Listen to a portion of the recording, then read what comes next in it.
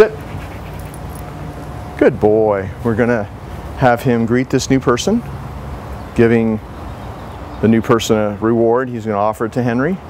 No, if he gets up, take the reward back. I said no. Do your little left circle. I was standing a little bit too close anyway, so I'm going to put him back. Notice when he messed up, I said no. I brought him back and I just applied a little bit of tension.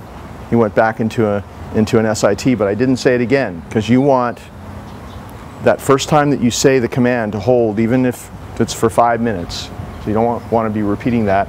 And notice how when I stepped away, he stayed there. So that's part of this, this routine here, the greeting routine. You step away, you give the person the reward, you come back, he waits for you to come back, he waits to be released, go say hi, you send him over, he gets the treat, and then you say, come, let, let him just take the treat out of the person's hand. Good boy. Step into him like this. Have him sit. It's a little training exercise. You can do it with people you know. It's still great practice. He has to sit. He has to stay there when you step away from him. He wants to go get the treat because he loves this, this natural balance, but he knows he has to wait until he's released. No. It's good for Henry. He needs to practice concentrating. Go. He gets to go get the treat. Everything's good and get petted a little bit. And then you say, come. Call him back to you. Good boy. Gets a reward. You step into him.